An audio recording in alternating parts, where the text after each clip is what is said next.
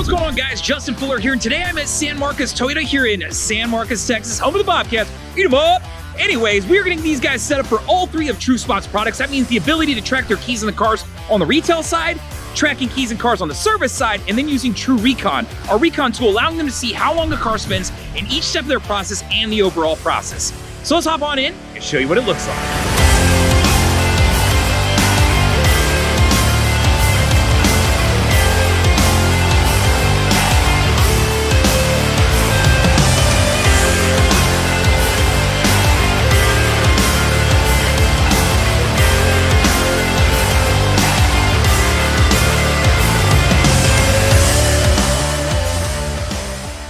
So if you want to start tracking your keys in the cars, the first thing we're gonna have to do is set up a network. And the network is gonna consist of a couple things. On the outside of the dealership, we're gonna typically use these solar powered gateways. They don't require any power. They're solar powered, it holds two months worth of charge, uh, so you don't have to run lines or anything like that. As you can see right behind me right now, Ollie is actually putting wood up on the light pole. Ollie, turn around and wave. Wave to the people, Ollie. There we go. Right, so that's what we're gonna set up on the outside of the dealership so that you can see those keys in those cars as they float around the lot. Now on the inside of the dealership, we're gonna use these interior gateways. Now, these are gonna allow you to see those keys and cars as they float around inside the buildings, inside of service bays, inside of detail, places like that. So these two items are what we're using to create that network, and they're all gonna talk to a base station, which looks a lot like a wireless router that we'll typically tuck away somewhere nice and high. Once we've got all that set up, now you can start tracking your keys in cars. So let's talk about the hardware that we're using for that. So first off, I wanna start you with keys. Now these guys use a Keyper system as far as a key machine goes, right? So they'll typically have these pegs that connect up to a set of keys. Now what we're doing is we're connecting our tracker to this plastic key fob piece right here. So when they sell their car, they can simply remove the keys from this, connect up a new set of keys, and then reprogram this to track those. So basically what I'm telling you is you can reuse these over and over and over again, right? So any key machine, whether it's Keyper, One Micro, Matrix System, uh, a KeyTrak, or maybe you're just using a pegboard, it'll work for all these guys, right? So key-wise, that's what we're using. Now, if you want to track something outside of a key, maybe you want to do like a golf cart key, a golf cart, maybe you want to do a dealer plate, big one. Maybe you want to do jump boxes that, you know, that move around a lot. Know that you can use these on that as well. And when we hop over here to the, uh, the phone app, I'll show you kind of what that looks like. But know that we can use this outside the norm. So if you have some of those items that grow legs and walk away, know that we got you. Now, when it comes to the vehicles, there's gonna be a couple different options that you have. The first being just a classic tag that you throw around the rearview mirror, right? Throw this around the rearview mirror, it's gonna track the vehicle and let me know where it is on the campus, right? And it's got a QR code on the back that I'll explain a little bit when we hop to the phone up as far as how do I connect a specific stock number, much like this brand new uh, Tundra that I'm sitting in, to this exact tag. Now, Outside of the normal tag, I also offer this with motion sensing alerts, meaning it has an accelerometer in it. So if theft is an issue at your dealership or a concern, or maybe you just have a couple high-end cars that you really want to protect a little bit more, know that I offer this as, as a an, an, addition as well, right? So that way if somebody tries to steal the wheels off it, somebody tries to steal Cadillac converter, or they try to steal the whole dang car, you can get an alert. The minute this shifts in the car, you get a push notification, and then you can go through your steps as far as security, whether it's pulling up cameras, alerting your security uh, company, whatever that might be, right? So two different versions of this tag. Now, outside of that, I do have an OBD2 device, which will track on and off campus. Pretty cool. It also will provide you with some additional information related to the vehicle. Uh, and of course, if you pull this out of the OBD2 and throw it over in the floorboard, it'll still track for two more weeks. So very cool. So if you're looking to track on and off campus, you may want to use these, or maybe you just want to use these for test drives, right? I have a couple places where they put them in just a few cars, or they use them in courtesy vehicles, you know, loaner vehicles, things like that. Um, so you can mix and match, guys. You can do a, a blend, right? Maybe I want classic tags, and then I just want a couple of the accelerometer ones on the cars that I park, you know, my driveways to block in at the end of the night. Uh, and maybe I got a couple high-end cars that I want to put these in to give it more trackability, right? Um, so all these different ways you can do it. Now, San Marcos Toyota actually uses Apex, which is an F&I uh, sell-to product, right? Allowing you to track the vehicle on the campus and off the campus. So they use it as far as uh, lot management, and then when the, when the car is leaving, right, you can upsell it to your customer uh, and provide them that additional safety. Well, TrueSpot happens to integrate with Apex, giving us the ability to pull that information in. So for these guys, they're gonna be able to look up a stock number on our app or our desktop dashboard, see where the key is at and where the vehicle's at all in one place. So it's gonna make everyone more efficient, cut down on that time searching for keys and cars, and allow them to use that time selling. So let's hop into the phone app and I'll show you how that works. All right guys, so here we are on the phone app. So what I've done is I'm just mirroring my phone to the screen so that you can understand kind of what we're doing here. So there's two big things that we're gonna go over. One, how do I run a search? How do I find a key? How do I find a car? And then two, how do I connect up these tags to a specific vehicle, right? And we're gonna do that all from the phone, right? So very easy to do. So the first thing I wanna do is just run you through finding a key and finding a car. So it's that very first button that you're gonna see. So we're gonna go ahead and select that, right? We'll go to, what do we got here? This 2016 Buick Encore, right? or actually the 2016 Envision, since it's got the car and both keys. So we'll jump to that one, boom, pulls it up. It's going to show me where the car is at, same thing. It's on the used car lot. We can already see that there on the map. If I hit that next button, boom, it's telling me where the key's at, keys in the Keyper machine. I already know before I get over there, and then secondary key is also in the Keyper machine. So both keys are tagged and in the Keyper machine. Now, let's say this wasn't in the Keyper machine. Let's say that the key was somewhere on the sales floor, right? It's in the showroom is what it lists out as, right? Well, I could get over here into the showroom. So once I get into this area, and you'll see yourself as a blue dot on the map. I'm not over at this dealership. I'm back in my studio. Uh, but I can hit this find a tag button that you'll see up on the screen here. If I hit that button, as I get closer uh, to this specific tag, the white ball that you're going to see appear in the middle where you can see it thinking right now, it's going to drop down to this darker blue, the immediate section. As I get further away, it's going to go to the red. So this way, if I get over to an area and I'm like, all right, well, I know it's in this this vicinity, this, this you know, within 10, 20 feet of me here, but there's a million desks, right? Well, I could use this and start walking around it'll walk me right up to that key. Uh, so this way, you know what I mean? If a key gets lost, you can take yourself right up to it. So know that this does get granular when it comes to keys to help you find exactly where it's at, right? So obviously, I'm not there, so I'm not going to find it, right? That's how running a search works, right? I think we can all get the general gist of that. So I'm going to jump back to the home page here. Now, the secondary button down here is the True Tag Management button that you're going to see on there. Now, that's going to be for connecting tags, right? So, tags uh, to cars. Um, so let's say that I wanted to jump in here and you know whatever the cars. We'll go with this 2017 or 2011 Acura, right? Let's say I was connecting a third key, right? Let's say it's one of those cars where they gave me like 19 keys, and I want to I want to track them all. So I take my tag. Now we talked about this earlier. On the back of the tags, there's a QR code and some numbers. So on here, I'm simply just going to hit that that key button because I want to connect a key. So I go to there, and then boom, on the back of that tag, like I mentioned, I can either type in those numbers, and you'll see the numbers down here on the screen, or I could just scan that QR code, right? So I'm gonna hit that, that scanner button and then just scan my, my tag, right? It makes life a lot easier this way. Boom, I can hit it, scan it, connect it, we're good to go, right? Same thing with cars. Now these guys are using Apex, so it's gonna automatically pull these across when they put that Apex unit in. Uh, but let's say for the sake of this, you're not using Apex, you're using my standard tags, right? Same thing on the back of these tags, guys. It's super easy. I got the QR code and I've got those numbers. So hit the car button if I want to connect a car tag to it, and then I can either type it in um, or I could scan it right? So the reason I mentioned I like using the phone to do this is because I can use that QR reader. If you're using a desktop, you're not going to have access to a QR reader, right? It's just not available to you. But you could still do it and just type in those numbers. But, you know, do you want to mess up and accidentally put a 1 as an L, a 0 as an O, that sort of thing? It'll happen, right? So I recommend that. And the other thing is, let's be honest, chances are you're sending a lot porter out to a truck when it comes in, let's say it bought cars at auction or it's, uh, you know, new cars from the manufacturer, from the plant. Well, I could put a handful of these in each pocket walk out there and literally scan them and be like, all right, let's do the first car, boom, boom, connect this to the key, put this on the rear mirror. We're now tracking that car. So if it needs to go through recon, I can track it as it moves along. Um, or if it's new car and it just needs to go through a couple steps, I'm already tracking it. So if anybody takes the key over detail uh, before it makes it out on the lot and they do something funky with it, we're not going to be lost without it, right? We can track it down. So you can track keys and cars really quickly. Would I take 10 seconds to connect them both up? So throw a handful of these in both pockets, walk out to a car when it comes in, and you can track them. You can start tracking them. All right, guys, so here we are on the desktop dashboard, and I'm going to walk you through a couple different, uh, I'd say, scenarios and, and, staff members that could use this tool, right? So I want to talk about sales managers as far as opening and closing duties. I want to talk about inventory managers. I want to talk about whoever manages like your third-party vendors like photo booth guys and things of that nature. But the first thing, I just want to walk you through what you're seeing on the screen here. So the first thing right in the dead middle, uh, you're going to see that network that we've established, and then we've geo-fenced off all these different areas and named them. Uh, so the naming convention goes with the dealership and what y'all pick. Uh, so this will be custom to whatever the store picks, right? So employee overflow, uh, you know, employee backlot, uh, used car lot, new lot, right? So these are some of those searches that we ran and you saw where those vehicles were living up here, right? So it makes sense.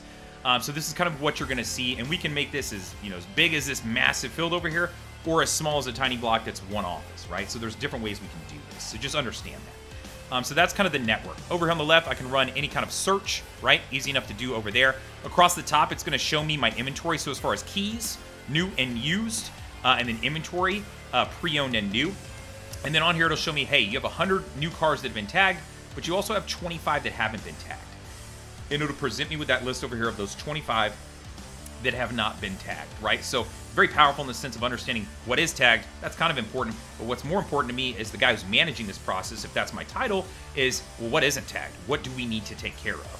And at that point, I could pull up this list, simply turn off my map, export this list, and hand it to somebody and go, hey, I need you to go find all of these vehicles, right? Here's your stock numbers. I need to get these tagged. I need to make sure that we're managing this process correctly, right? So whoever's in charge of that, we can make this very simple for them. And the way we're able to do this is that tie in with the inventory feed so we can see what has a tag, what doesn't, what's living in your inventory feed. So easy enough to understand.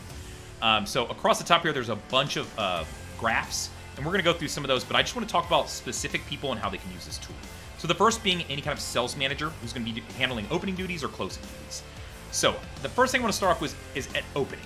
So at the opening of the store, right, I want to make sure that over the previous night nothing was taken, right? Everything made it back into the store.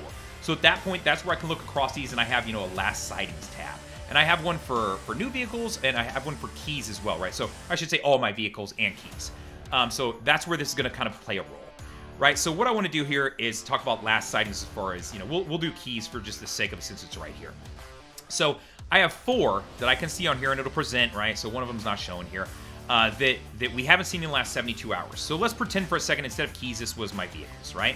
Uh, which I can go to vehicles. I just don't know if you want to see it's up on the side of the screen. So yeah, perfect. Here, I've got one vehicle that hasn't been seen in the last 72 hours, right? So I could click into this vehicle, look and see if there's any notes. Maybe there's a note that says, hey, loaned it out overnight, uh, sent it off for a recall, stop sell on it. You know, some some reason that this car would have left a lot and be elsewhere, uh, right? So, I mean, with Apex, these guys can see things on and off the campus, uh, assuming it has the Apex installed in it. But this is going to make life very easy for those guys who don't, right? I want to be able to get an alert each morning of any vehicle that hasn't been seen in a certain threshold of time.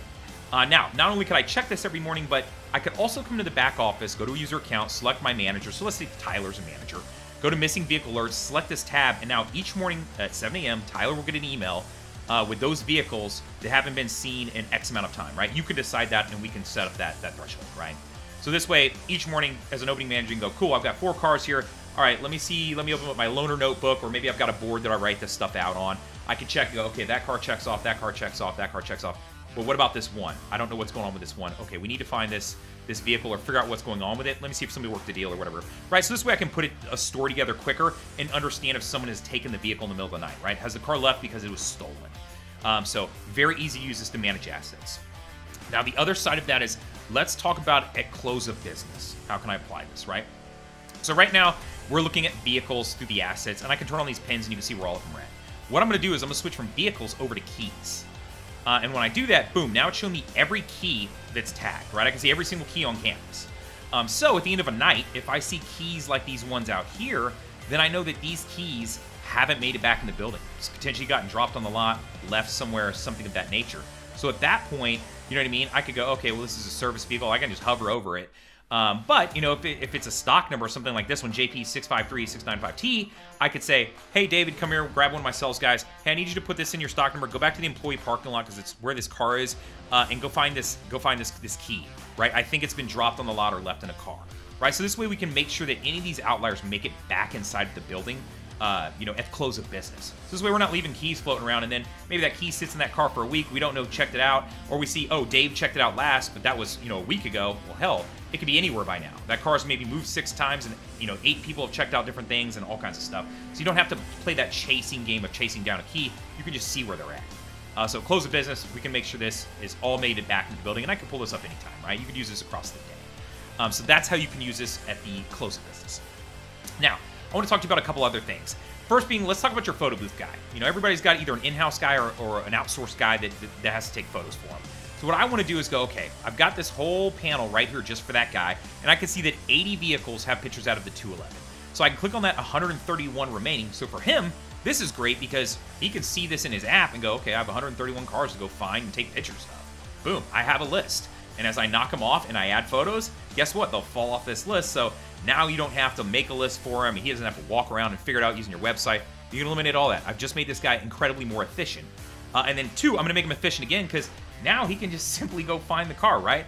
As he's scrolling through here, you know what I mean? Like he can be like, all right, well, I'm just going to go look for this one or whatever it may be, right? Oh, okay, well, this one looks like the key is way out here nowhere. All right, well, something's going on with that.